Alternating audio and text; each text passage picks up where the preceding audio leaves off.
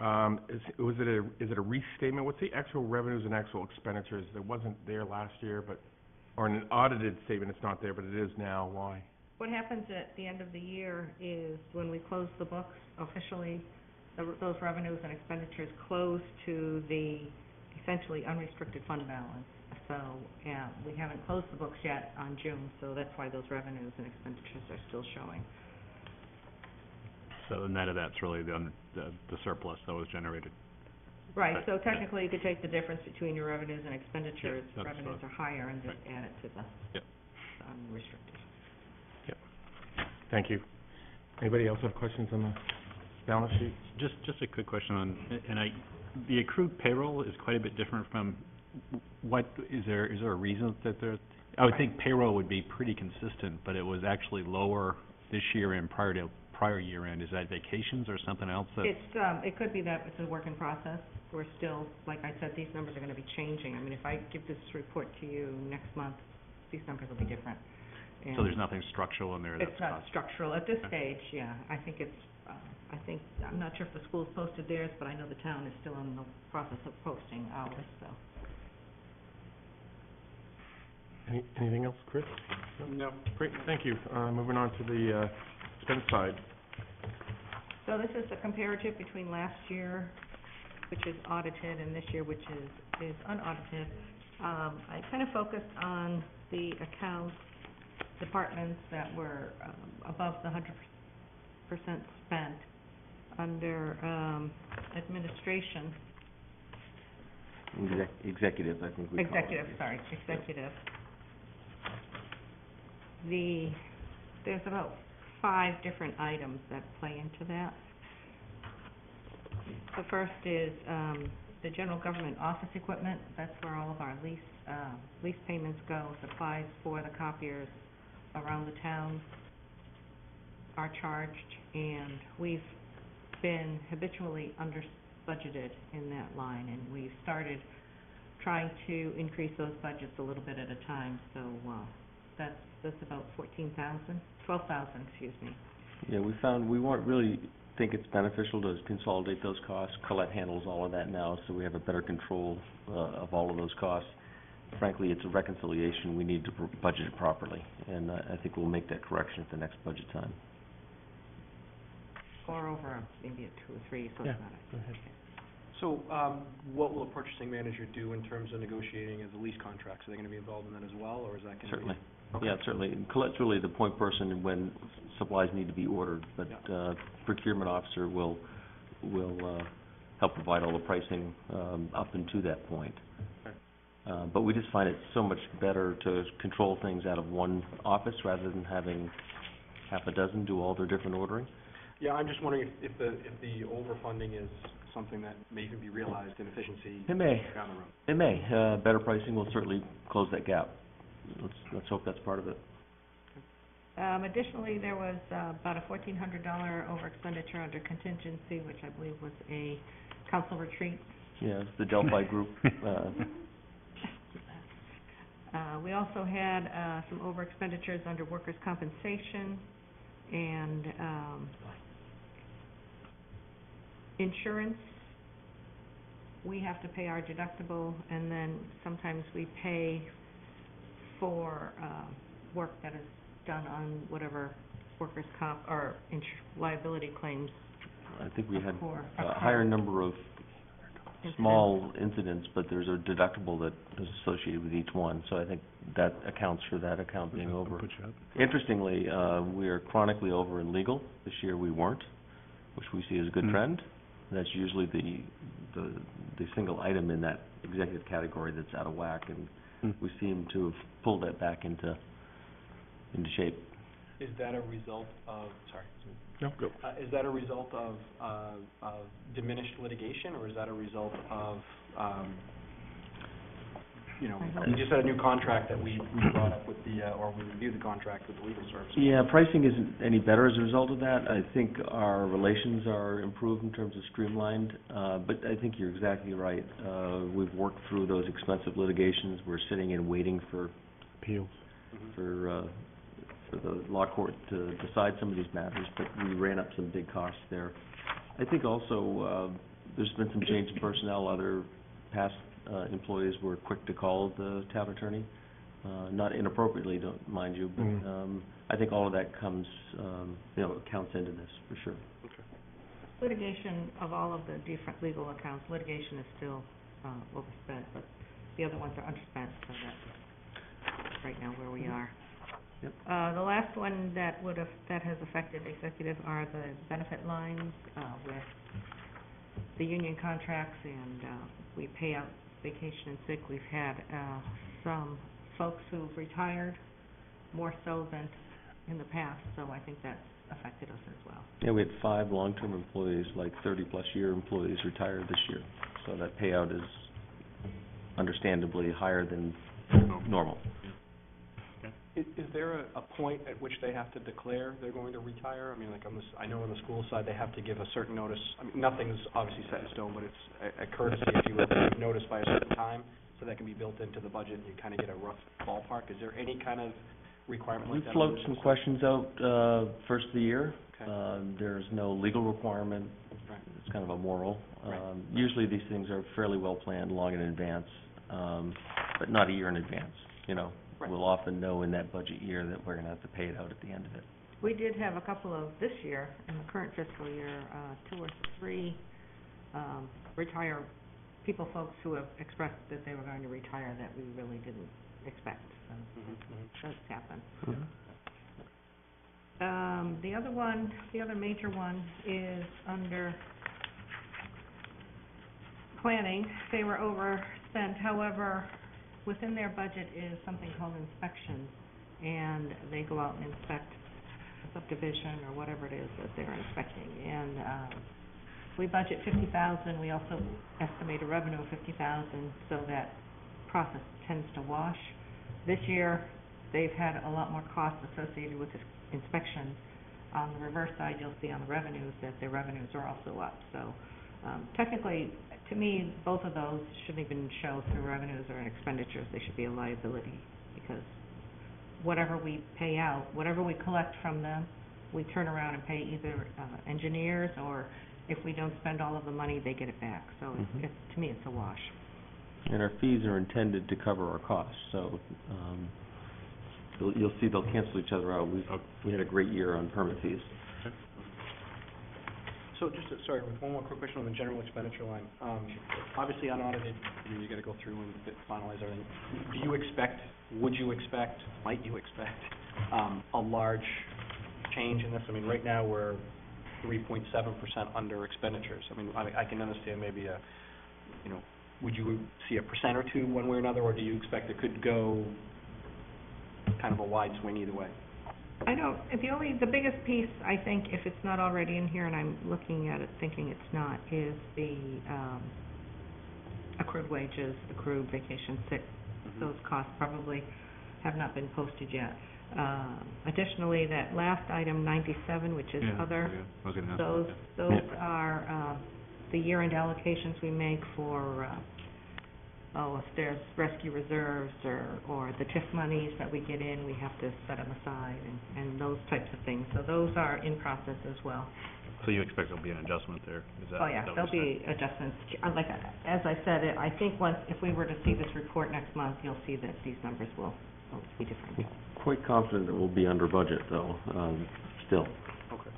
Generally, can you speak to, I mean, if you go down and look at like police, fire, I mean, they're pretty significantly under budget. Is there, Mhm. I understand, and other, there's things, there are adjustments coming, but all these others that were pretty significant under, is there a reason for that? Was it just things they anticipated doing, they're not doing? Are there adjustments coming our way? Is that? I, there'll be more adjustments coming through.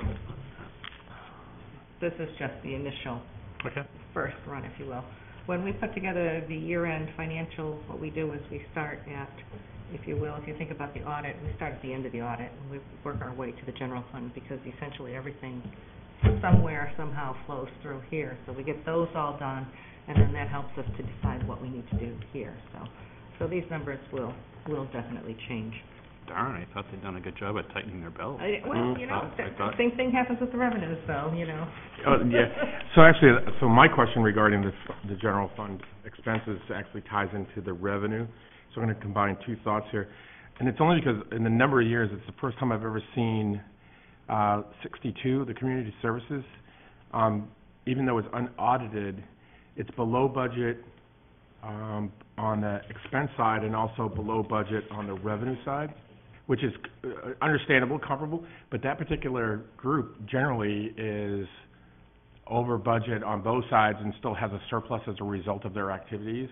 Right. Um, do you think that that, you're gonna see that change in that, because that's where a lot of the surpluses come from, um, over time, um, because of how well their s- programming is. Mm. Um, do you think that they're gonna exceed that? I mean, I, I do you see what I'm saying, kind Yeah, of, I do. kind of hit it? Um, you know, our costs for, let's use recreation programming, for instance. Yeah. Um, if we don't have, and I think we've slacked a bit on some of the, um, registrations, so we don't have a hundred bucks for soccer camp or whatever. Mm.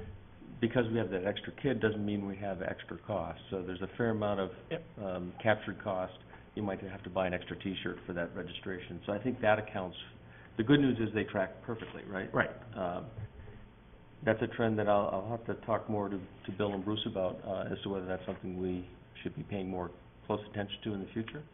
Well, and, and the reason why I'm bringing it up is that, I mean, how many years I've been hounding Bruce, poor Bruce, about the fees, you know, and so when you see this, and this being the first year in which we're below budget at both of those, I just wanna make sure it's not the fees that are causing any decline, so it's really, you know, what is the participation rate this year in comparison? Is it going down, staying flat? Um, Yeah, that's the balancing point. We've gotta get our fees to the point that they cover our costs and ideally turn a, a Right. bit of profit, but we don't wanna drive business Okay. away. That's a delicate, um, analysis. I'll talk to Bill and Bruce more about that. Yeah. Thank you. On the expenditures, I just want to point out on the school side, I think we're, we're, though there'll undoubtedly be some adjustments, but, um, they're likely to stay significantly under budget, really as a result of that Wentworth debt, um, Just- being paid. Oh. Uh, that was in the order of a million bucks alone, as I recall, Mhm. and we will see that as a product of fund balance. Hmm. And then on the revenue side, again, we have the comparative data. So, I'm sorry, Oh, um, no, go ahead. back on the school side, is the, um, nutrition program included in the overall school general fund? No, that will show on that page with all the other funds. Yeah, the three pieces are adult ed, school general, and Okay. nutrition. Where's the nutrition one? I don't see it. It's on the second to the last page, the one that. Oh, It's all by itself. This. It's, uh, List of funds. seventy-six hundred last total page. school nutrition. They are about ninety-seven percent yes. spent and approximately seventy-eight percent collected. At this stage. which is, I can attest, is fantastic, because usually at this point, they're That's why I was- about a hundred and twenty or so. There's been a lot of conversation in the past about the deficit, that there, in essence, we budget for a deficit in that particular program and why, and so I wanted to, so that is, it's actually a very good position to take. And with the new food service director, I suspect that has something to do with that gap getting closer. He's doing a lot of different things from purchasing, a purchasing perspective to, um, combining, uh, purchasing power with Cape Uh, so Mm. we're actually getting better rates on the purchasing, but most of those, if I recall, most of those deficits were, um, revenue generation, um, because you got the expenditures, but if they're not offset by revenue, you fill the gap with the, with the difference. Um, I, I, my understanding is, um, from sitting in on a couple of the meetings, is that their, their revenues are actually up, which is, um, a good thing based on the quality of the food. I think there's a lot more staff as well participating. So I think that's where that gap's coming, not necessarily on the expenditure side, I think it's the revenue side that's starting to catch up a little bit too, but. Maybe we can ask Kate uh, Bolton to give us just a quick little analysis on, on the school nutrition. Yeah, I'll do that.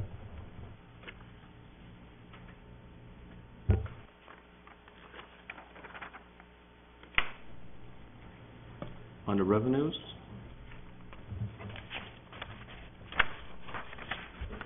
So the taxes are up, and pretty much that's, um, the result of mostly the excise tax revenues coming in higher than estimated.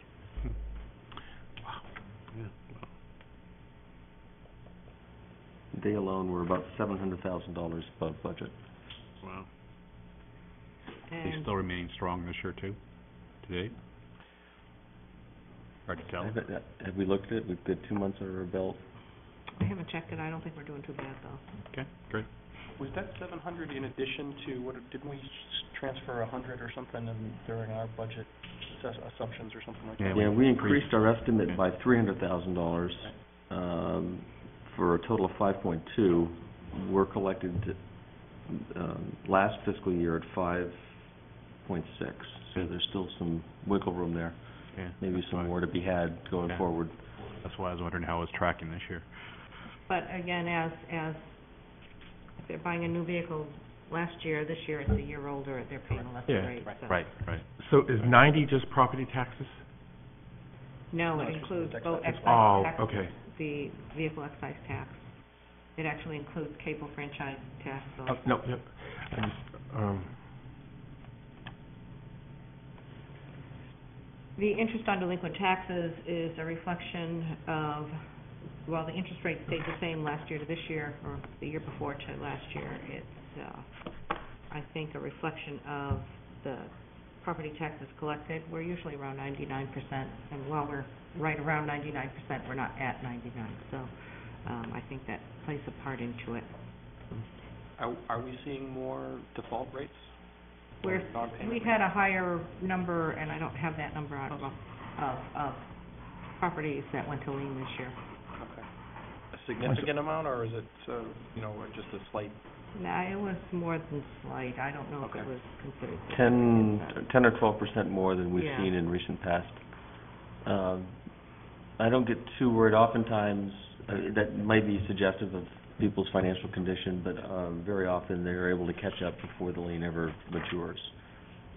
but, Yeah, it's kind of like she has to start off with like four hundred or five hundred, and by the time she does it, it's down to like a hundred or two hundred or Yeah. something like that, that actually get filed, and so the ten percent, so the ten to twelve percent you're talking about, that's the net In terms of raw not the number top- of yeah. tax lien notices we sent out. Okay, Um, yeah, yeah, yeah. Um, intergovernmental revenue, oh, licenses and permits are up, and that's pretty much Wow. the result of planning department. There, Wow. you'll see on the individual selective revenue page that their building, electrical, and plumbing permits are all well over a hundred percent.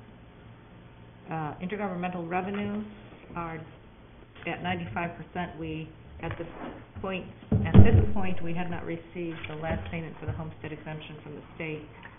And veterans or tree growth, they're usually late on one, if not both of those, so. The Uh, state's late on giving us our money? I'm shocked. However, I believe those have since come in, so the next time we run this report, you'll, you'll see a, an increase. Um, Incidentally, state revenue sharing is above projections this year, so, Good. so that was nice. Ruth, do intergovernmental, intergovernmental revenues include like Old Orchard Beach paying us for dispatch and stuff like that, or is that Charge a for separate? services. Uh, we call, we put that under charge for services. You do, okay, okay. Which is a perfect walk-in into the three hundred and sixty-eight thousand dollar gap. Under government charge for services, Yeah. or? So is that purely, um, external charge for services through, like Old Orchard, or is that inter, interdepartmental That's charges as well? interdepartmental As well. And, um, I took a look at those, and I believe, uh, well, part of it is subdivision fees, but part of it has to do with, uh, Public Works maintains all of our vehicles, and they charge those costs out to the departments. And because the fuel costs weren't Mhm. as high last year, therefore they didn't get those revenues in, because the fuel costs were lower. So each department's budget is seeing a, also a reduction in the amount of fuel costs that they Costs, would have yeah. had to, So offset. to spend. So I think that's part of it. I think it's the biggest part of it. You're Yeah. also seeing lower, on the flip side, the lower expenditure side, so it's. Right. That's right. And then just as with the expenditures, the other financing sources are partially done, we're in process of doing those, and that's all year-end adjustments. And Ruth, I'm sorry, could you, could you just give me an update on other financing sources? What is, what is that, just a, That's the, uh, if we have, for example, the school development impact fees that we, the planning department collects, we take, two years ago, actual, and that becomes our revenue for this year estimate. And, um, those may or may not have been transferred yet. So, it's those types of things that, um, are part of year-end transfers that may or may not have been done, or, or if they've been done, they haven't been posted yet. So that's, a s- I mean, it looks like a significant delta. You wouldn't imagine it being that large at the end of all the transfers. There's still probably things that need to transfer in or... There are still things to be transferred, just as with the expenditure side, it looked like it was underspent, but it's just a lot that still haven't been done. Tom, just, just a quick question. If you look at, you know, the percentage increase in building permits and plumbing permits and those types of things, that would suggest there must be a lot of investment going on in real estate. Is there, is it, what's the delay between the building permit activity and when that valuation works its way into what we use for the tax base? I mean, are we talking twelve to eighteen months? Are we talking?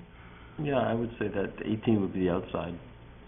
So, so I know we've had a lot of conversation in the past, and I know with the analysts coming on, whether a project might be having something to do with looking at the permits in the past and trying mm-hmm. to project what that's gonna do to property values, so we have a better, sort of a real estate, if, I mean, that's just a conversation, how do we get a better handle on? Yeah, the only, That's good. the only complication with that is assessments are as magically as of April one. So you can, we can do some of that forecasting, uh, but it really depends how far along they are in the construction and therefore what value is created as of April first. Um, so there's just a, another variable in that analysis. Is, there- is there any value for a project or, um, or project that's in construction, Partial? Sure. other than raw land? It, it gets, it, it can get fairly complicated trying to get that partial value, for sure. Do you have the information when they, when they file these things on what the total project cost is gonna be? Do you- It's do part of the building permit application is to estimate value. Yeah, so you haven't estimated what the, yeah. Would it, would it be, I mean, I don't know what kind of administrative challenge this would be, but um, it strikes me, and I think a President brought this up to me some time ago, about, uh, so if we assess it April first, and it's a Mhm. one-year, uh, if they complete construction April second, that's almost a full year where they're not assessed Correct. at a, But presumably they're assessed at ninety-nine percent or something for that year. right, so I guess my question would be, uh, would, would it make sense to, or can we do it in six-month increments, let's say, or something, to try and capture more of that? Or does it not, it doesn't really matter either way, or there's a reason why we couldn't? Well, state law requires April first is the date that everyone uses. So, uh, I don't think we have any flexibility in that regard. Uh, but I do think we can, we can use this information to forecast when we might expect that value to actually be realized. Into the age-old discussion of what's our value gonna be next year. Right. Yeah, it's, it's a very positive trend. This is the first very robust year. That's You know, I think we're all with a bit of, uh, you know, bated breath, wondering, are we out of the woods? Are we really seeing a resurgence in building? And this just confirms it, that, uh, yes, we absolutely are. You know, regarding the tax line, um, it's still, you know, until, until you actually look at the breakdown, just to keep in mind, because you actually kind of warned us when we were going through the budget process, well, this is extremely positive. I mean, there's a variance of six hundred and seventy thousand dollars extra in, in taxes. Um, we took a chance this past year and said, well, we are comfortable in believing that there was gonna be 300,000, and we budgeted for that, so there's really an additional on top of that. Um, I just don't want us to get too far where every year, I mean, Yeah, I- excise is one of speaking in those... short clips here, because in my head, I'm running through the comment, but I just want to be careful going forward, because you never know when that's gonna bottom out. You just never, I mean, I mean, the real estate taxes are exact. We, we know what we're gonna collect. Whether we Right. collect it in this fiscal year, at some point or another, we're gonna be made whole. Yep. So there's really no float there. The excise is the one that really does, The uh, wild and, card. and it continues to exceed my, I'll say pessimistic, Yeah. uh, outlook. I, I just can't believe that people continue to buy new cars year in, year out. Um, Hmm. it's not as if we're plateauing. We continue this ascent. I, I also think it's important to look at that too, um, even if we're not spot on in the budgeting for the year, if we're over, it goes into general funds. So we've got Doesn't that fund balance it. So I'd, I'd be hesitant to try and get too reliant on predicting that number Right. directly, um, from a year-to-year Agreed. basis. Um, because if it's good, um, you know, it, we're gonna see the benefits of that. If it's not good, and we've relied on it, uh, that could pose other challenges. The good news is that we can be, I think, confident that our increased budget for excise this year will meet. Yep. We will likely exceed, so Yeah. that should give us some baseline confidence. Right. Um, everything else is great, Yeah. it's doing good. I- I- It highlights a topic that we're bringing up later, which is the fund balance policy, because that becomes more and more important as that number becomes stable. So, good. Yeah, and the final piece is, this, as we get, as we try to tighten up our budgets on the expenditure side, there's not as much float, there's not as much left over unexpended. So, to the point of, Right. you know, wanting to build fund balance, really the only way we do it in a significant way is to exceed in, in revenue, as our budgets get tighter and tighter and tighter. Mm. The, um, I kind of skipping over the year-to-date expenditures and revenues, which are just the, unless you have specific questions, we kind of went over them already. Um, the, the next one is all of the different funds that we have. There are a few lines that have budgets, most, actually, most of them do. Yep.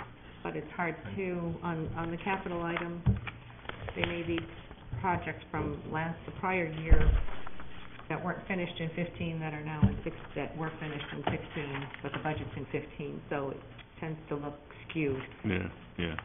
Like the first line? Which is, um, well, special revenue funds, all of the, what is in special revenue funds? Most of the grant revenues come in through that, Uh, so that might be a good chunk of that. Same with the Fund seventy-two XXs, those are all pretty much school grants also.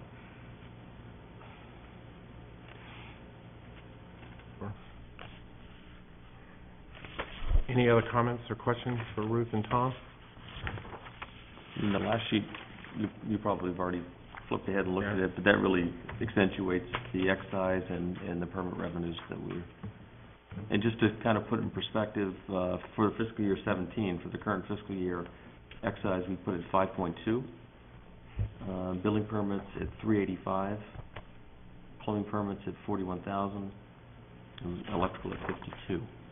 So, uh, we're still, you know, within, below the actual, uh, for last fiscal year.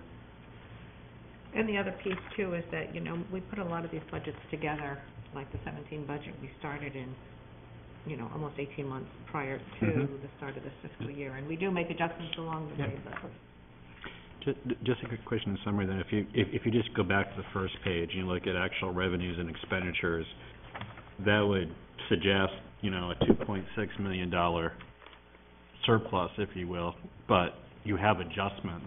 So, Tom, you said you s- still think we're gonna have a surplus, but I mean, how big will the bread box, sort of your best guess? I mean, are we half a million or so after the adjustments are made? Are we gonna be north of that?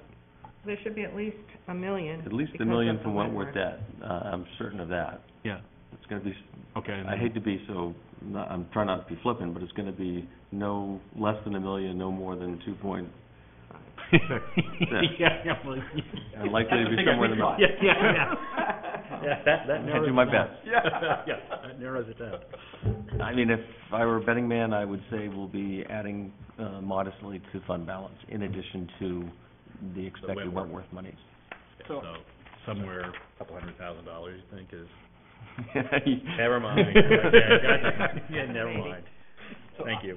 I, I guess the takeaway from this is obviously there's a lot of things in motion. There's nothing, there's nothing critical right now that stands out to us that is gonna be an issue, if, unless Not yet, I'm no. misinterpreting that. Um, so, you know, it's hard to draw really firm conclusions based on what we got, but it's a good snapshot of where we're at right now. We're doing very well, um, Right. compared to others, and, and when things finalize out and they get audited, we'll, we'll be able to do some more training, some more analysis, and really kind of start. The big picking it picture is, we didn't overexpend, Yeah. and we brought in more revenue. So I, I, I think simple Good news. takeaway is that, uh, there's no surprises. In fact, I think there's gonna be positive news here. So the question I have in closing on this particular topic is that, um, to have a comparative, internally comparative, after these adjustments, um, would we be able to, just for our own, um, uh, review, would we be able to get an updated, the same exact package in, um, September? So that we can see what that adjustment, the impact was? The, say that again, the, This same package you get at the, um, in September See for what the end of, changes have just been to see made. what the changes were, so that we can Yeah. kind of understand. Because it's important to understand that, I mean, this is all a point in time, you know, so it's static information based on that. right. So, you know, while it's Yeah. unaudited, I think it would be great to see that, Mhm. knowing that that still is a point in And time then until the audit happens. October, November, right, Right. changing. Go ahead. Just a quick question, I guess, for you as chair. Um, if we do end up the year in a, a sweet spot, um, last year we had some conversation about, and I think it's probably just a, an agenda item at some point before a year, and if we can do it, is, you know, there's, we do have some unfunded liabilities. Is, is, should we start thinking about, you know, putting a placeholder on the balance sheet for those things? So it's just a question for, not for tonight, but in particular, I think it's pension that's unfunded, right? Our pensions? Pensions are in, uh, We have a liability, but not necessarily any fund balances for. correct, fund balance, uh, pension, and then the other post-employment benefits, which is the health Medical. insurance piece.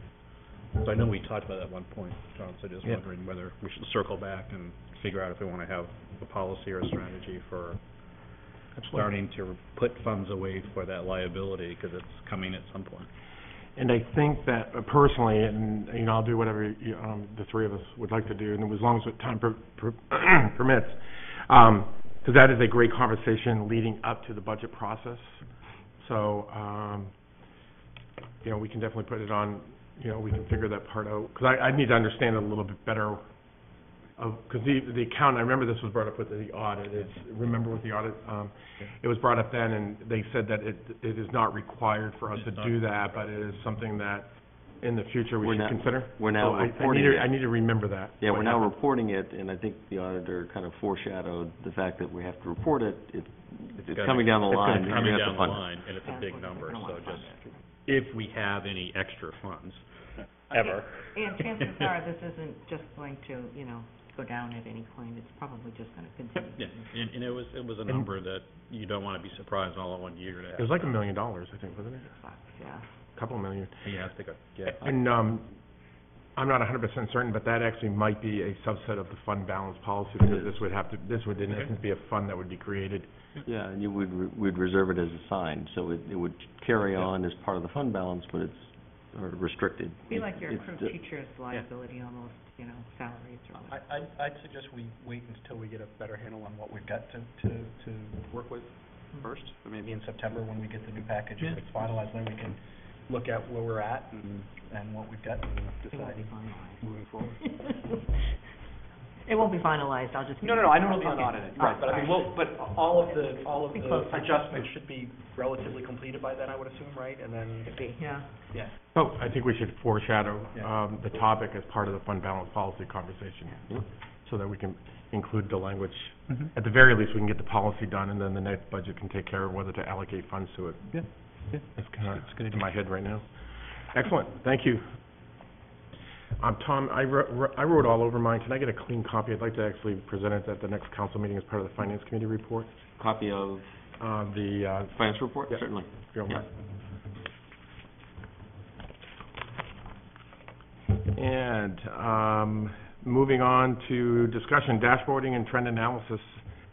To kind of get that started, Tom, do you want to talk about progress regarding the Yeah, new th- position? Sean and I kicked this around, it may be, a- I think it's a bit premature in that, it's important to start talking about this, but uh, this is exactly the, the wheelhouse, if you will, of this uh, budget uh, analyst that I I envision. I really want this person to dig deep. Uh, This is priority number one, if you will. If you're interested, I do have a copy of the final job description. I'm out um, soliciting as we speak. And uh, it's, uh, interestingly, with this position, I chose, rather than a date certain for closing, you know, the deadline, uh, I've kept it open until filled, just, I anticipated it being a challenge, and I'm willing to wait, frankly, if I need to. Um, But I'm very pleased, I've had probably thirty-five resumes, Wow. and a handful of very intriguing ones. Well, that's good. Um, I just would direct your attention, you don't, we don't need to spend a lot of time now, but the essential functions down on the bottom of the first page, um, one, two, three, four, five, and eleven kind of all speak to this aspect of, of the job responsibilities. The rest of it is the purchasing agent and, uh, some other administrative functions. So I, I just wanted to provide that to you, just to show you that, and demonstrate that this is really the thrust of the position. It's a finance-first position, if you will. Uh, having said that, Sean was kind enough, uh, at his own expense, I might add, to do, uh, some research and bought some really good manuals that I think will serve as, um, great fodder for understanding what metrics we should be identifying. Uh, some of these books, I mean, there's probably fifty different metrics. Um, I don't expect all of them will make sense for us, if we can come up with half a dozen or eight or ten. And I see that as a collaborative process with the finance committee. Um, but I really would like the analysts to dig into it and, and be in a position to make some recommendations to you. Um, Sean, you, you had mentioned you did provide these documents. These are the things you, you found to your colleagues on the finance committee. If not, Yes and no. On the top of your package, is that the smaller one? well, there's three Yep. things. This is Oh, from the state of New York Comptroller's office. Oh, and no, okay. We have. Yeah, do you have the white paper? Yes, Guide to Yeah. Financial. So, just as a Condition highlight, if you recall, um, so I had done a little bit of research, um, preliminarily and provided with what is called the white paper. And What it is, it's really, I don't remember the author's name, but it- it came, he was part of ICMA, which is the, um, I believe it's called County, I- International City County Managers Management Association. Association. Yep. And in that, it really highlights what um, uh, city and municipal government can look at as financial trends and performance in the categories. And just to um, bring it up to the global level, or at least the uh, higher level rather than the minutia, you know, you're looking at debt, you're looking at capital, you're looking at debt to capital, you're looking at liquidity and other factors. And this, I mean, if you think about it, this is just about anything that you want, you can actually do a type of trend and then do a comparative. So that provides at least an outline of some recommendations. Being um, bored, I guess, one night, I went online and I actually bought the full manual that is um, referenced and gave Tom a copy. Be happy to give either of you a copy as well, but it's actually called Evaluating Financial Conditions, a Handbook for Local Governments. And it's a really good, and actually, not only does it provide you with the uh, formula on how to take it, um, but it talks about the methodology, it talks about the pros and the cons with it, as well as then how to do the next step level of analysis and really expound on that. What I was hoping to do is really, um, while Tom is preparing this, um, hire, is for us to take it into consideration is that my vision for that particular position, even though I'm not, uh, is that they become a quant. You know, um, you name it, they're gonna track the trend of whatever it might be, population, everything you can think of. And then as a board, we'll ask for an executive summary that includes five or six major areas. Um, I know, Tom, you have a couple of recommendations that you were talking about, um, that are bigger. We can still get the smaller pieces as part of the analysis, because everyone likes to know, you know, the, the smaller minutia part of it. But I really want us to look at trends amongst those major categories. So whether it's debt per capita or expenses or whatever it might be, you need to look at not a year-to-year snapshot and the changes, but what has been the last three years, the last five years, and then set goals based upon those if they are truly representative of where we want to be financially. Um, Would it be helpful if I copied one or all of these documents for you, so you can get, start to get a flavor of the, the sort of territory that we're likely to cover? Well, I think we have the, we definitely have the That purple one. one. Do we have the white paper too? I don't, I Well, don't recall you- having the white paper. You have the white paper, you don't have this one. Not the full manual. Would you like one? I, I, I would certainly welcome that. My only, I Okay. don't know if we can just photocopy them and give them out if we. They're copyright we- law. Yeah, do we have to, pur- we'll probably have to purchase a couple of copies, I would assume, right? I'll check.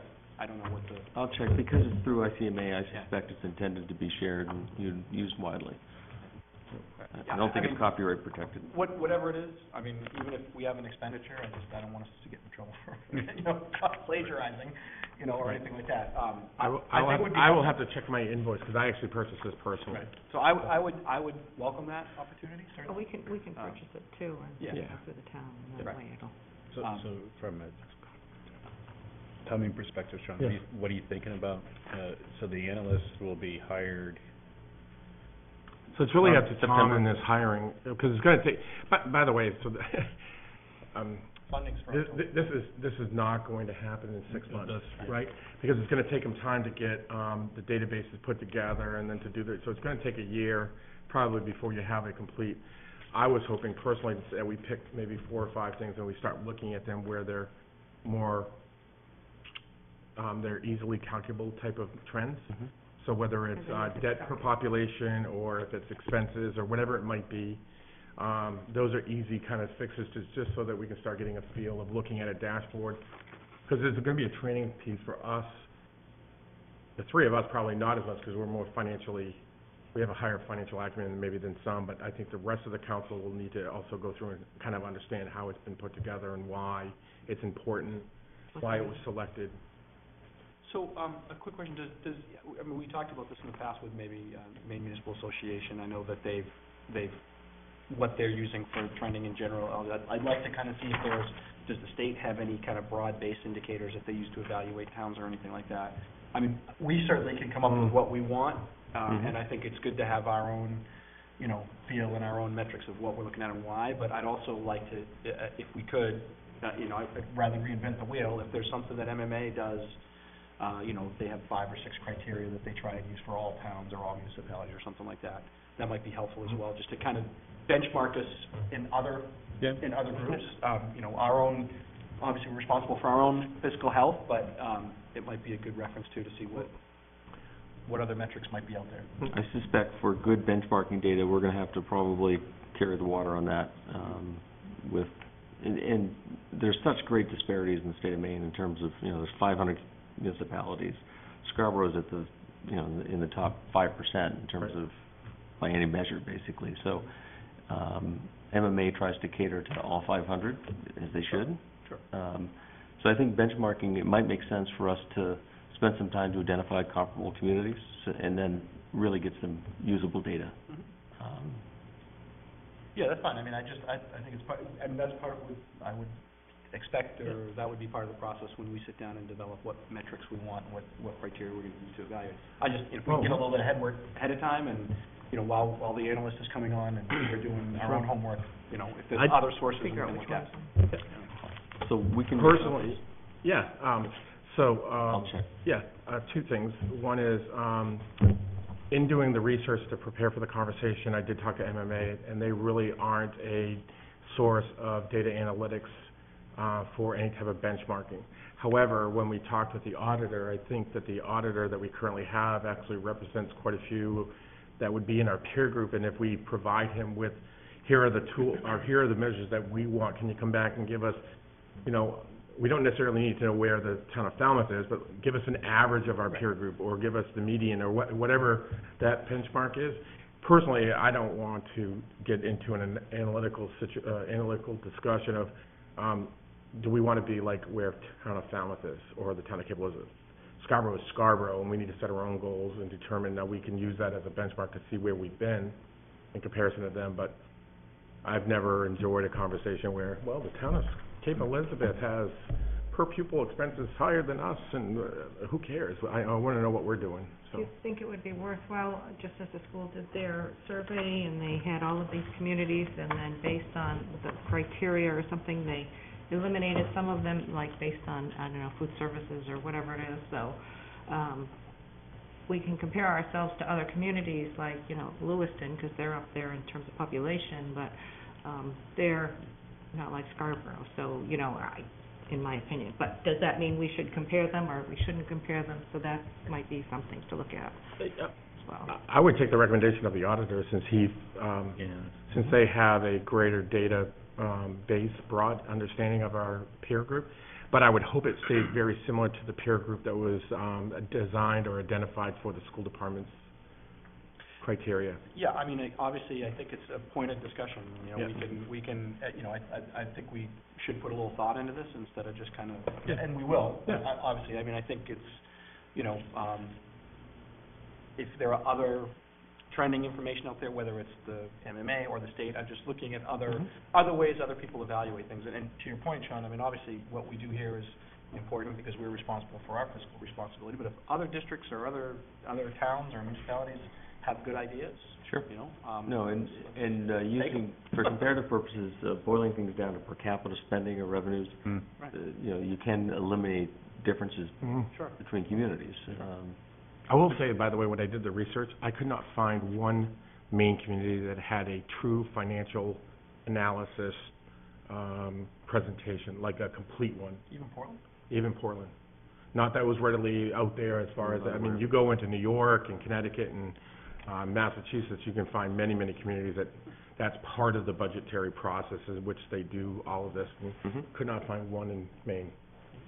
Be the trendsetter. Go ahead. D- this is kind of a question, because I, I think you brought up, I think, Tom, didn't, in the RFP we did this year too, didn't we ask them to actually maybe provide us with some metrics that we may want to consider that would be, in their judgment, We did. important for us as a town to look at? That may be a great starting point. Absolutely. Ask them to say, come back to us with Yeah.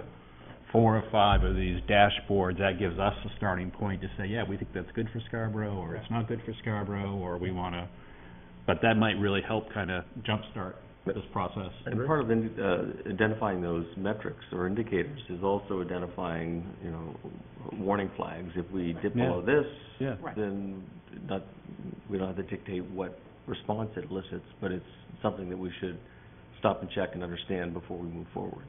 So I, I, I think we can make significant progress in identifying a handful of Yeah. mutually agreed upon indicators, um, in time for this upcoming budget. That's Yeah. my intent. And ultimately, if we can get this stuff down, I would love this person to actually move into more of the performance management end of things. Yep. Um, really drilling further down in, in, in the details of what we do and how we do it, and, um, but that's kind of phase two or three. Absolutely. Anything else? So we'll make copies and provide you, um, a copy of this, so long as I think Thank he's okay with it. Yep. Uh, Next topic is capital planning policy. Uh, Before I, turn this over to Tom and, um, um, Ruth, I just wanted to give a, refresh, memory refresh of what's happened. So, back in two thousand and fourteen, the Finance Committee, which included, uh, Peter and I, and then, um, and then, Bill Donovan, began this process of really talking about capital planning as a res- as, as a result of budgeting. And what that is, is really related to, are there capital projects and capital equipment purchases that could be incorporated into the operating budget, um, based on its dollar value, its use, its, um, life, uh, life, um, uh, life cycle, and, um, not fund that by long-term debt? And what would the impact of that be? So, as a refresh, um, in two thousand and fourteen, the, the Finance Committee did approve, but did not forward onto the council the, um, the, uh, policy, because we wanted to, at least for the past year, run a pilot to see what was the impact, how would it work, um, whether or not we, you know, it was truly something beneficial. So, we're kind of at that point now, because it has been in our committee for two years.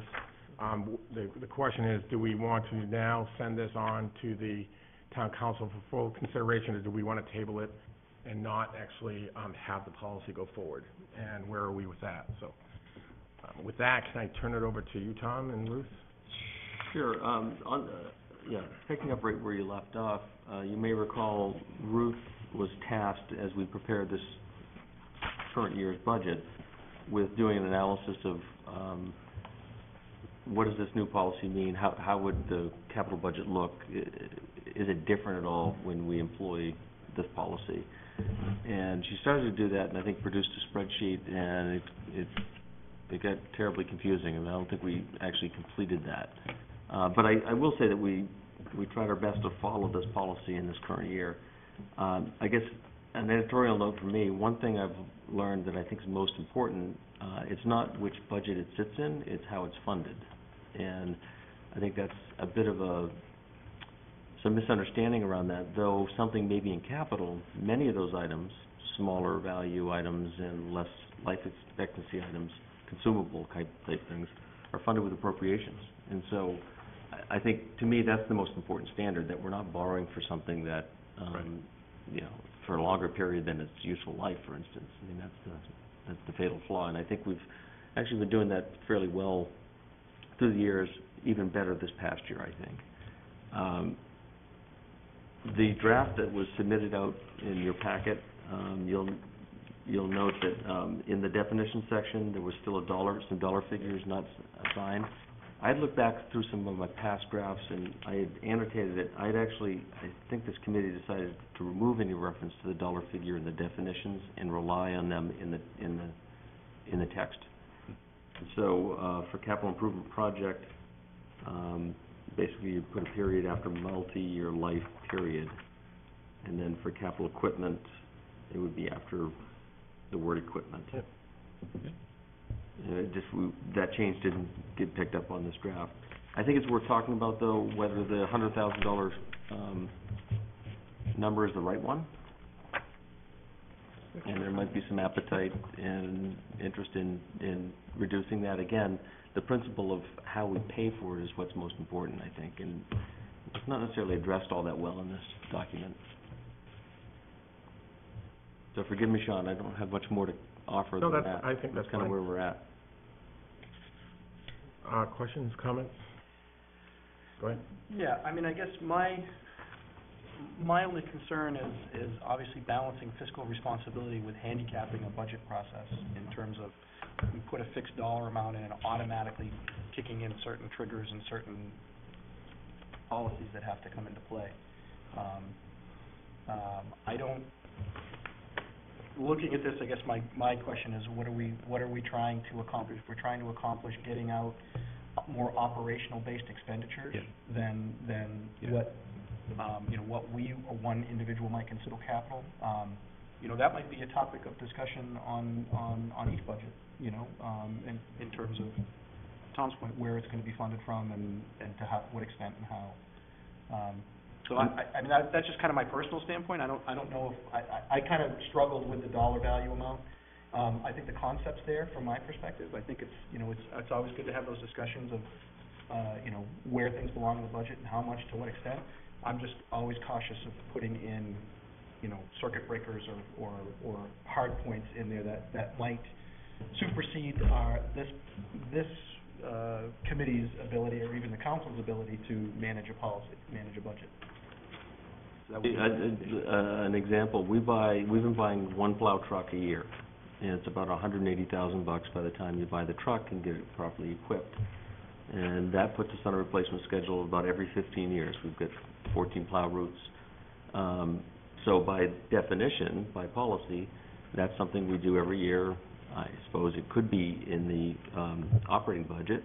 Um, but I think there's also a, you know, the theory of if we're able to borrow money at two to three percent, which is quite consistent, we're able to do that, there's some theory to financing those over time. And we've got enough time, given that type of product, to certainly, um, pay down that long-term borrowing at low interest well before the item is out of service. Um, so it, it, we found that it doesn't fit perfectly in all situations. Buses are another example. Uh, we're on a track of buying at least one, if not more, every year. But why doesn't that, so I'm, I'm not, why doesn't that fit this scenario we've set up here? I mean, even, even with a hundred thousand, both of those are things that, geez, they last more than five Yeah. years. It's, you know, they're more than a hundred thousand, they should be capitalized. That, it seems like that Fair enough. I mean, I, I, I think, i- to answer your question, Chris, I, I think where we're trying to go, and I think it's important, most corporations do have some type of capital policy. Mm-hmm.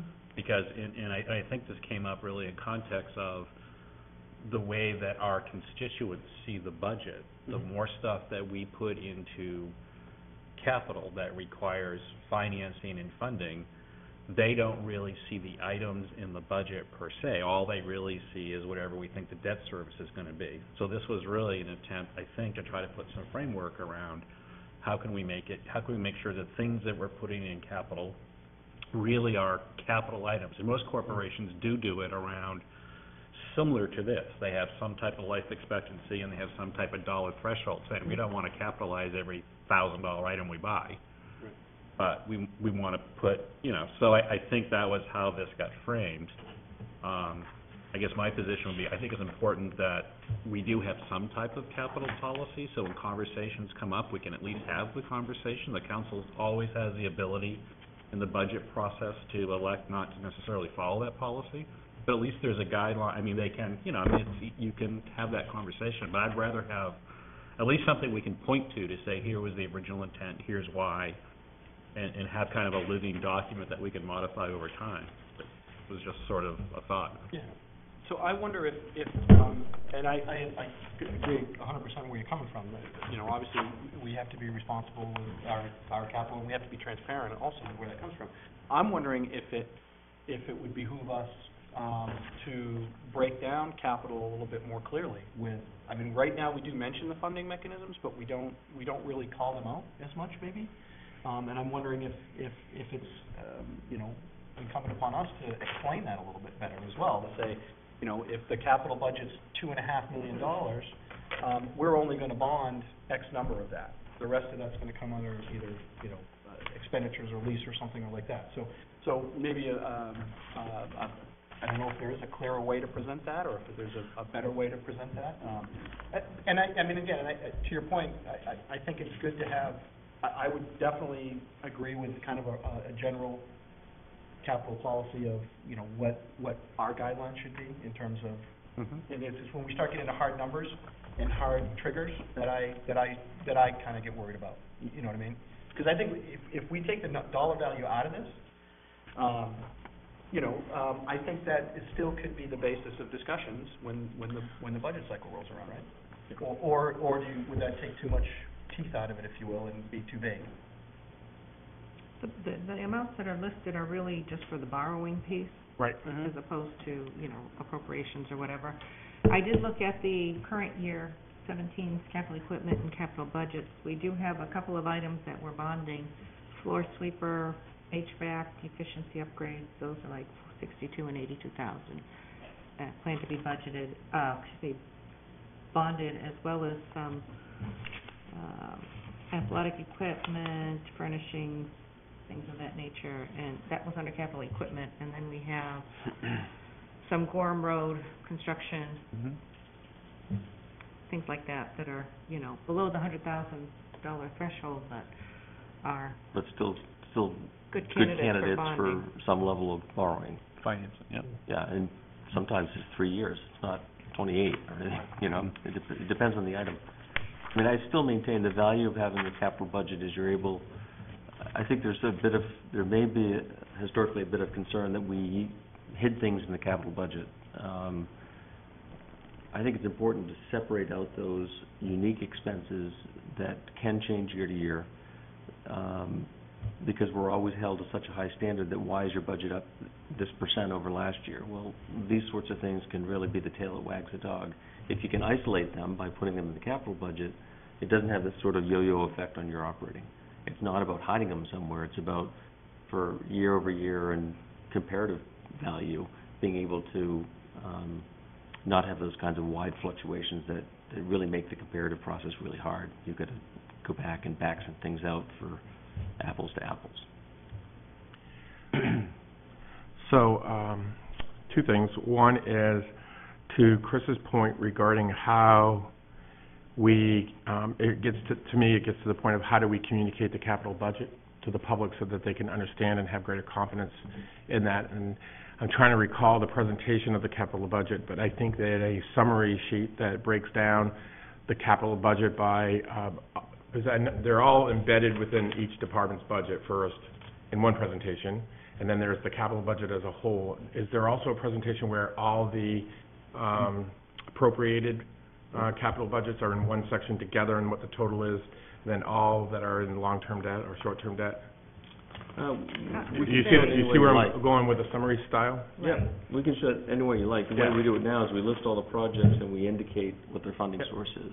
Uh, we could, Yep. we could I change think how from we a present it. communication, maybe next year, if we just group them by, put all of the allocated ones in one summary sheet so that they can see, not allocated, appropriated, Mhm. um, and then a- an explanation on the table that says this is gonna be funded by tax base, um, or it's all funded by tax base, it's about appropriations. The next one is maybe short-term debt that's less than five years, and then long-term debt that's greater than five years. And break down, that- so that way we can communicate it. The other piece, though, is that this is about decision-making and not really communicating. And the only issue that I have is that, um, it's not really an issue, I just want to make sure, if we're going to approve this, no matter what that level is, there needs to be a commitment to follow it. Um, unless there are significant or serious economic conditions that force us not to. And when we go over a financial statement that shows us in a very good position that we're in, I wanna make sure that if we're gonna pass this and recommend it, and the council passes it, that we're gonna follow it in the budget cycle. Is, is where I, That's why wa- you I have a wanna. policy, yeah. Right. Um, n- unless something really serious. Um, I'm happy with the hundred thousand, um, because it sounds like actually, um, so first of all, uh, you had mentioned the bullets. So bullet number five, um, is pretty clear. We are going to determine the funding source of the project being approved, which includes appropriations. The next bullet is really the long-term debt, which is greater than a hundred thousand, and then short-term debt is less than a hundred thousand. So, um, while there isn't a specific mention to appropriated, um, funding, um, I consider that as part of that very first one we talked about. So I see this really as a policy statement and not necessarily a rigid guideline. Yeah, there's some flexibility built There's in. some flexibility, but I'll be honest with you, um, looking at this policy and looking at the items that Ruth mentioned, I would say that they should not be in a bonding situation. Athletic equipment should not be in a bonding, right? I mean, based on this policy, outside of any other, uh, kind of, um, ex- exterior opinions or facts, based on this policy, we should really be looking, well, no, excuse me, we could be doing short-term debt Yeah. on that, or appropriations. You have- you actually have, two- you actually have, it's not forcing you to do appropriations, it's either short-term or the appropriation piece. It, it strikes me the challenge that we're having, or one of the challenges we seem to be having, is identifying what really is capital and what's not capital equipment, and, and what that definition is, because, um, again, um, i- if you buy, for example, uh, let's say you buy a wrestling mat, a wrestling mat lasts twenty years, um, and you can finance it at two percent, why wouldn't you do that? It's not, to Tom's point, it's just another piece of, it's another expenditure, another investment that the town's making long-term, and we're gonna get the value out of that, so. Um, I, I would be, um, you know, I, think that's another piece that we kind of struggle with. What, what by definition is a piece of capital equipment? We even talked about that, I recall, in our, our last meeting when we discussed this earlier. You know, what, what, what is that? Is it just on a dollar value? Is it finance? Is it based on how we're gonna pay for that? Is it based on, um, longevity, use? Um, so, so, I, I mean, I think, I think to me, the real question is, is, um, if we're using metrics, and let's say we're using debt, right, and right now that's a significant metric that we're, that we're looking at, what kind of debt burden does the town have? Um, that would kind of obviously preclude people to think, well, we're borrowing a lot of money. Why are we borrowing all this money? Uh, should we still be borrowing money? Um, then the question becomes, you know, not so much, um, what are we spending that money on, but why are we borrowing it? And that goes back to how we're gonna fund it, and how we're gonna pay for it. Um, I think if we're gonna have a, you know, if we're gonna, it's a difficult discussion to say, you know, justify buying two hundred chairs for town hall and bonding it. Mhm. You know, um, where, where if we have the reserves, you know, we should pay cash for that, maybe. If we don't, if it makes more financial sense, we at least have the flexibility to look at that. So I think that, I think it's good to have a capital, the, the, as I said, the, the, the policy would be good. Um, but I still think it's more, it should be used more as a basis for the discussion and not as a means to frame the discussion and say, if it fits in this box, this is what it does. If it's box B, this is what it does. Box C, this is what it does. So if we could, if we could kind of come up with a, um, and I hate policies that are very vague in general, in nature, because they're very difficult to, to implement, but I think in this instance, we, I, I would want to maintain as much flexibility as we could. As long as we can communicate it clearly, what we're doing, why we're doing, it and how we're doing it, um, and, Yeah. and, you know, we can justify that. I think we may have threaded that needle. I'm not sure if we could do any better job, frankly. I think it, um, just to add some clarity, that athletic equipment was for replacement of a pole vault mat and batting cages. So there's not bats and balls, not real consumables, but, um, Yes, I, I could, I just, I pick up, you know, I I think, I think you were onto something you said earlier, I mean, I think what constituents have asked for or might wanna see is, and I think what we're trying to address is, yeah, if you put stuff into capital and it's financed, people don't understand what impact that has on the mill rate, not this year, but down the road. But, so to get to your point, if we did, when we communicate, if we had a way of communicating, here's the capital items, here's the impact it's going to have on the mill rate going forward. And we had talked about, gee, is there a way that we could try to do a better job of predicting, you know, yes, there's tons of variables, but do a little bit more planning so we can say, geez, look, sitting here now and knowing we've got forty-eight million dollars worth of municipal expenditures that we're talking about, we don't have the number for the schools, but the schools is a number maybe similar to that.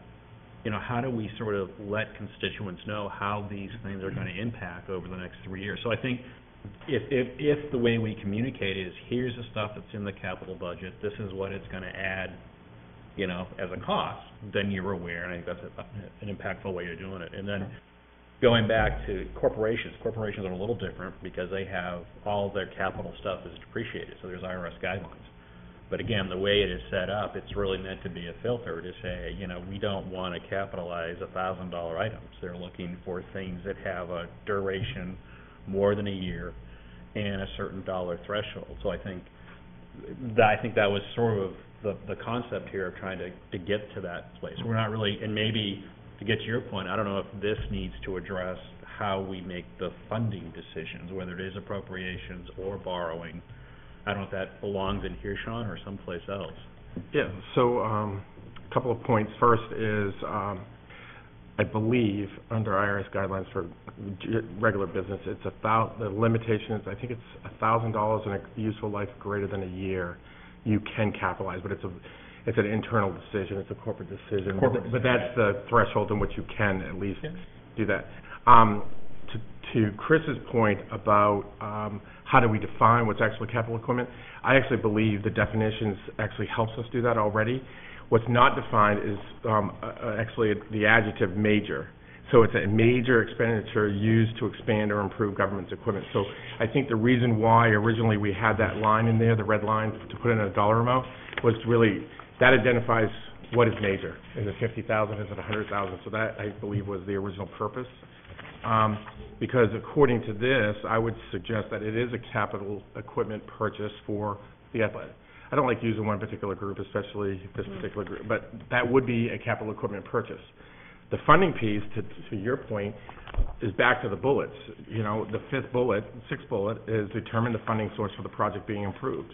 And there are three that are available. The next two bullets cover the funding piece, or, uh, sorry, the financing, the long and short-term financing piece. But, you know, maybe the, the other bullet should be, one of the other bullets should be about appropriations, you know, that any amount could be appropriated, you know, regardless of its dollar value, you know, because you could do a hundred and eighty thousand. I don't particularly agree with, you know, Spend putting a your plow fund truck in balance on appropriations, something but if you wanted to. but maybe that's a, that's a bullet that we add so that it's covered, so people understand, here are the three funding sources, appropriations, long-term debt, and short-term debt. You can do any three. I think it's also, um, There's grants, there's reserves, there's, And I think we, uh, we, uh, certainly this year, talking to the bond agent, talking about our debt policy and, and how we manage our debt load, how we take it on, and whether we wait for some to retire before we add new to it or something like that. I think that's an important piece as well, to your point, Peter, of, you know, people want to know, you know, how it impacts our future debt load. Well, if we're retiring X amount of debt, we've got a decision to make. Do we want to take on more debt to offset that uh, because we got good rates, or do we want to retire that debt completely and lower our overall debt? I mean, I think that's, that's an ongoing discussion that we have for, for bonding and things like that on a regular basis. So, I, I think, you know, again, it's, it, it's communication for sure, and those are areas we need to improve on. We've, we've all, all acknowledged that. I, I just, um, you know, I, I, I could, I could support the, the, the, the, the policy, um, nothing's set in stone. We could run it through, and, and if we had challenges this year trying to determine what goes in and what Mhm. goes out and why, um, would staff recommend tweaking it and trying it again, or would you s- suggest just going with what we have and? I guess my experience is I don't think we'll ever be able to come up with a Perfect. fail-safe, perfect, it is or it isn't. Right. There's gonna be this, there has to be some flexibility in it. Uh, and I, I think there is. Uh, to Peter's point, um, regarding, you know, where things are gonna be down the road, where we, oh, we show us the one year Mm. essentially, not the future. We do get estimated, um, bond schedules for, for Yep. these projects, so, Mhm. you know, it's mostly a staffing issue, but we could say, here's where we are now with our debt service, here's what we expect to see retired and Mm. assumed new based on at least this year, not further out, but, uh, But to, but to Peter's point, I think that it needs to be, um, so the, by the way, those bond schedules are pretty complicated to read sometimes.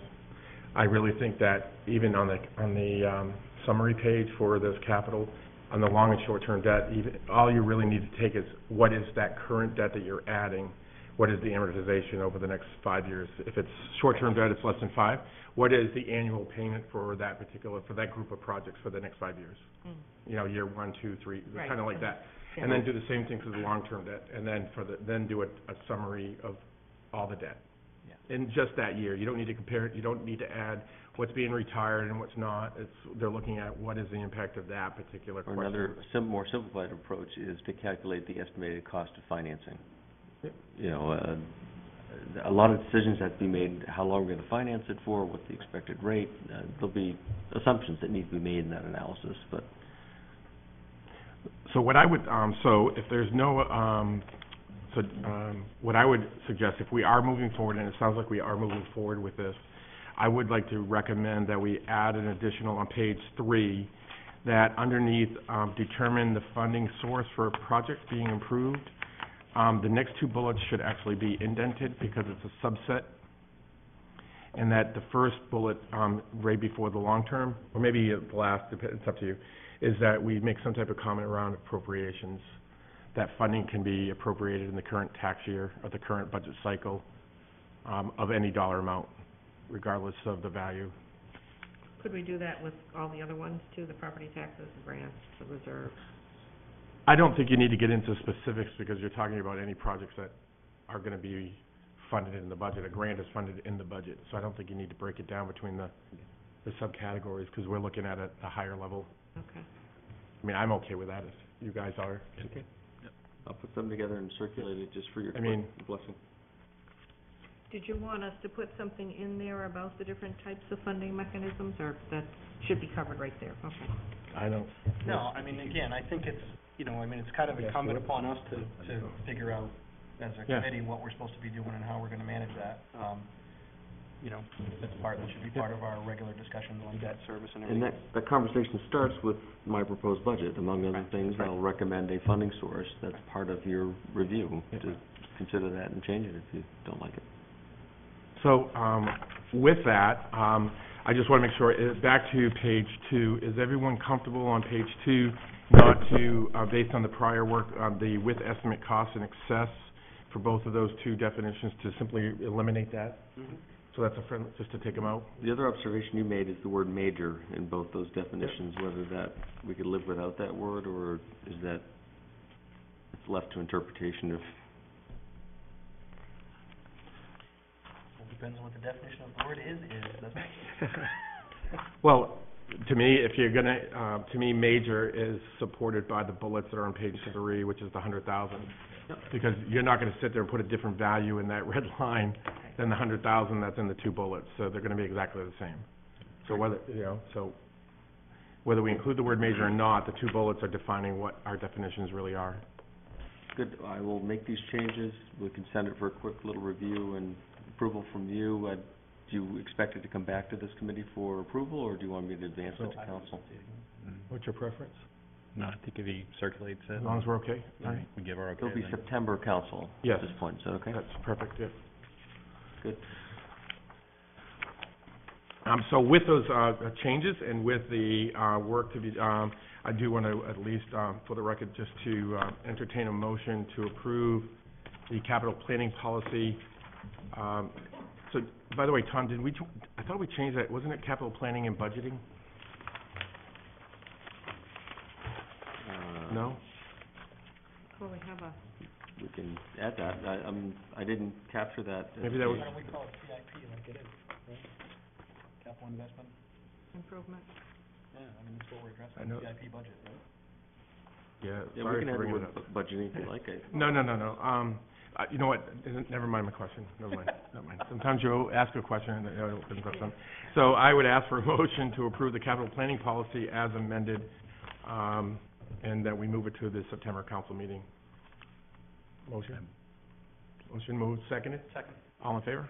Great, that's three to zero. that was easy. Yep. So, um, I forgot, I just wanna mention, I do have a hard stop for myself, and, um, if you would like to continue without me, but I have to be out of here by about five fifty, five fifty-five for an appointment, so, um, there's a, a lot of conversation ahead too. Um, fund balance policy is our next item. Um, I had presented, uh, so a couple of things. I had presented at least a, a starting draft, very rough starting draft. I don't know, is it in here? I don't, I don't recall. Here's the old, That's the existing. That's the existing. I had actually, That, is this yours? nope, No? I, I apologize, I forgot to bring it. Um, I had at least sent around a, a starting point rough draft. Um, I will make sure that you get a copy of it again. So the, the, the observation, just to get started, um, is that I took what I will call an editor's pen to the current policy solely out of consistency and out of intent. What that means is that the current title is fund balance policy, but yet it only addresses unrestricted funds. Hmm. So fund balance policy needs to really kind of, um, look at all funds, regardless of its source, um, or its use. So, um, I had actually, um, taken a look at that, so I had drafted some changes based on that. The second is a more analytical, or I'd say a, a substantive change or recommendation, which is in section two. Um, I was recommending a change to the current level of the unrestricted fund balance to be, um, evaluated. Uh, it's currently at eight point three percent or one-twelfth of Scarborough's operating budget, and not to fall below five, just the historically, which I love bringing up. When I first started on this council, I actually helped draft this. Um, the fund balance was less than three percent. Really? Wow. And that was probably in two thousand and two, two thousand and three, and we were constantly at, at zero because of the way that, um, the council managed its money. Um, but it was a very different time, twenty years ago, it was a very different town. So the question is, is that, where are we today and, and where do we wanna be? So, that's something to consider. Um, again, I will be happy to send around at least that draft. The, the piece that isn't included in my draft is, um, anything related to the other categories, uh, outside of unrestricted fund balance. Those are GASB requirements. Yeah, so, um, and for us, it's not really, um, it's more about how do we monitor those balances, and then what are they used for, and from year to year, how are those accounts kind of managed? So, I do have, uh, an elected official's guide to fund balance that incorporates, you know, explains some of these things. That would I be can pass them awesome. out to you if you'd like. Mm. And Sean, you, uh, you started to say, but I didn't hear you say, are, you- do you have a percentage in mind that you'd like that to be? well, it's a baseline to have the conversation start, I just want that to be clear. It's only for conversational purposes. We got it. And this is based upon the co- We'll, we'll reflect. I I want that caveat, I'm not wearing any protective gear. Um, but it's based, I know, it's based upon the conversation that the auditors gave us, if you recall, regarding our balance. Um, I actually was going to recommend that the unrestricted fund, um, equal to ten percent of Scarborough's operating budget and not to fall below eight point three percent. Um, there are some additional adjustments where if it, um, grows greater than twelve percent, then, um, there are options, and actually, I was also looking at, um, expanding the options. The current budget says that we can only use it for capital funds. One of the things that I think that we need to look at, because of the source of some of that, um, fund balance that's coming in, is, um, looking at, if possible, uh, restricted accounts that can, the funds can then later be used to either ease education, um, whatever, you know, rate stabilization, there's different terminologies that can be used Unfunded liabilities? unfunded liability accounts, but there's allocations that can happen, it just isn't going to be just capital funds. Keep in mind, when that was created, um, I think it, um, I mean, to go above eight point three per, uh, ten percent, um, you know, five hundred thousand dollars contribution to capital funds was pretty significant. Today's projects, that doesn't even pay for a third of some of the road projects that we have, you know, to offset it, so. It's a starting point for conversation, I'm not married to it, I just wanted to at least have a conversation, because we're in a nice financial position to do so. Right. What was your max, twelve? The twelve percent, yeah. So in line, in section three, any excess above twelve percent will be assigned for, and then expand, it's not just capital needs. So you'll circulate that I will draft? circulate that document, and then, so the goal is that we start the conversation. Um, I know that the Rules and Policy Committee is also, um, interested in this. So outside of Peter and I, who are on Rules and Policy, there's also Will Rowan is, is interested, so we might, uh, seek his, at least, uh, opinion, not necessarily forward it to Rules and Policy, but seek his opinion before it goes to the Mhm. council, just to involve him, since Yeah. they had an interest, but we will be drafting the recommendation. Yeah, would this lie, why would this lie in rules and policy? Because the fund balance policy is a, a policy of, that rules and policy oversees. But capital, the capital planning one wouldn't be? Um, it will be, be- yeah, I know, I know. Everybody wants to, every, hey, you know, when you're the cool, when you're the cool kid, you know, everybody wants to be part of the discussion. Um, hello. And, um, so anyway, so, um, but that was started before Will was even elected. So that's kinda, you know, we'll give him that credit. Anyways, I'm trying to be nice to everybody. Of course, this policy change, if there is one, will go to the full council, so they'll all be able to weigh in. Just a, just a parting thought, my experience working with financial advisors, and more importantly, with the financial analysts with Moody's and with Standard and Poor, we are probably at the low end of what they'd like to see, but most importantly, if we have a policy, we've got to stick to it. So, we could set twenty percent, but if it's unattainable, it will be worse than Yes. if, if we, uh, consistently perform well at eight point three. So that's just a, you know, what If I'm I taking recall, away. actually, um, the analyst talked about that the kind of going rate is fifteen percent is, the- is, is the new norm, or the new And expectation. there are some as high over twenty percent, Yeah. which We seems to also- me, That's a little high. We also did the evaluation of if we That's met all that, what would that do to our, our, Right. our bond performance or our bond rating, and if we'd impact it, not, it, it didn't seem to significantly impact. It our wouldn't rating. improve it. that, that strikes me as you're keeping too much of the people's money. You don't need Yes. that to operate the town. Uh, Right. But wasn't there, wasn't there, there was, we did get a benefit by being, there, there's a sweet zone where there was some difference in the bond rates over the eight point three, and I think it was ten-ish or ten point two or something, was Yeah, that well, there that? was a tick, I remember seeing an It- uptick, but it was a small, it fifty was- basis points, yeah. uh, something like that. The that. analyst, co- Yeah. the analyst comments in the, in the, uh, bond rating actually focused on the fact that we fell below eight point three percent in two thousand and ten, but we committed, when we did our bond presentation, we committed to getting it back up, and we did it. Right. And because we committed to it and did it, that's where we got the tick. It was because of our performance.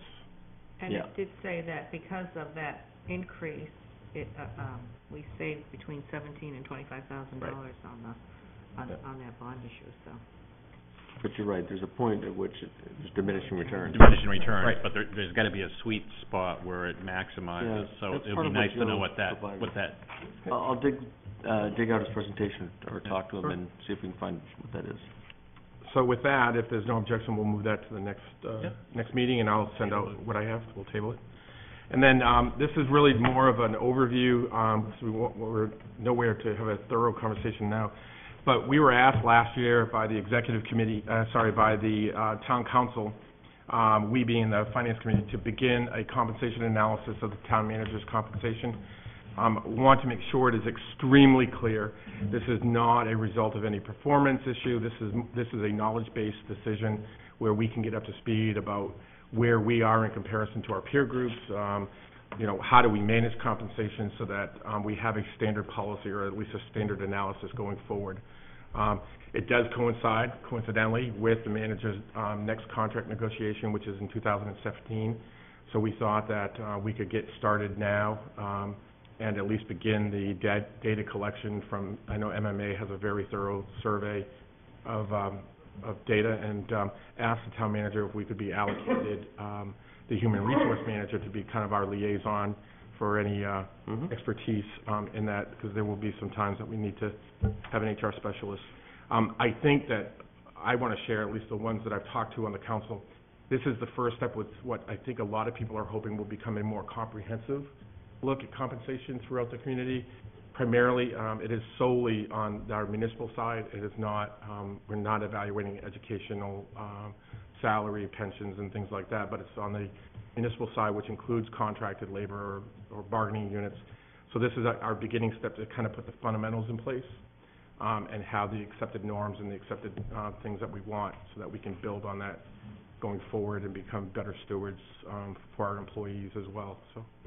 Um, this is, this was just to put it on the agenda so that we can get started, uh, so the public was aware of what we were doing. Um, any comments from you guys on that?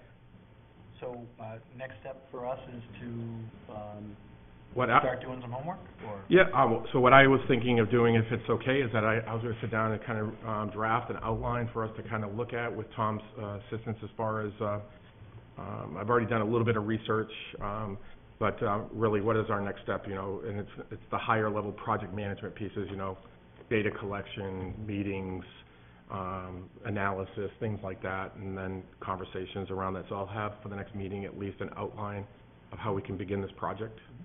Um, and then we can build on that outline and then begin the actual work probably in October. That's my kind of thinking through that, if that's okay with you two. I'm glad you're getting started. I mean, the Yep. current contract runs through December of seventeen, so there's, there's some time, but that time creeps up on you But, hard. I mean, sure. and not to delve, too- I mean, we need to, the council, I believe, needs to make a decision about that contract ninety days before December. It's just So as a council, we really need, Six months before, I think. six months, sorry. Yep. Six months, so even though it's December, it's really much, much earlier, so we need to get started now. Good idea. Good. He's okay, the default is it just keeps going the way it is. I know, huh?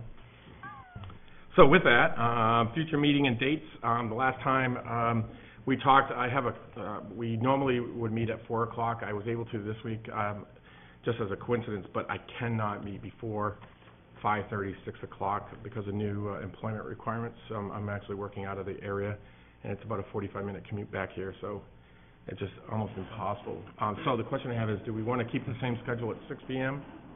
With our apologies to staff, because we know that it gets into your time. Except for Colette, we'll, we'll excuse Colette. She just gave me the evil eye. I thought my wife was in the back row there for a second. Uh,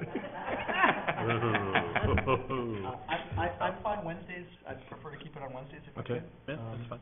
Uh, but yeah, It's gonna, six P M. It's either the second or fourth. right, off, Yeah. off council hours. So starting in September, um, do we want to go back to the second and fourth Wednesdays of the month Sure. at six P M? Two meetings a month? Um, yeah, to start, because that way we can get the co- uh, the compensation and the fund balance is gonna, my goal is that I would really like to see the fund balance, personal goal, unless these guys tell me no, is to have the fund balance, um, have a new fund balance policy before the council with, you know, October. It's something we've been working on too, you know, for a while, so, um, that's gonna take a little bit of time and conversation, and then the town manager's compensation might have to be its own meeting just by itself, depending on how much data and what we get, so. I don't have a calendar, the second and fourth, some of those dates. Second is, uh, September fourteenth, and the fourth is September twenty-eighth. All right, subject to us, uh, getting space. So, um, the, the real boss in the back row is uh, waving a finger at us, politely waving. Just a reminder that I will have difficulty getting space on the second Wednesday of the month. at those in our division of zoning board. Oh, that's right. That's the only, They've had a long-standing. Yep, I don't want to interfere normal with meeting. ZBA. can you meet over there, or do they need the whole space? Depending on the hearings, they may need all, all the space. So, um, how, how does Tuesday, uh, no, Tuesday does not work for me. I have Eagles. Thursday? No, 'cause, uh, At Wednesday or Friday? Let's- see, I know when we wanna do it on Friday at six o'clock. Why don't we wait and see what we, yeah, let's see what we could do. If we have to, we can have it in the town managers conference room and just have a video camera. Yep. Great. So, uh, with that, because we do have uh, two citizens here, uh, we have public comment. Um, Mr. Turk, would you like to speak, or Ms. uh, Holbrook, Mrs. Holbrook? Welcome, by the way, former Councilor Holbrook. hiding in the background. Um, You're welcome to, s- uh, to speak if you'd like. Mr. Turk, anything? Okay, thank you. Um, any final comments from members? Uh, no, it's been a great summer. So, Let's get through August. great. Anything else? No? Uh, move to adjourn? Second. All in favor? Great, thank you.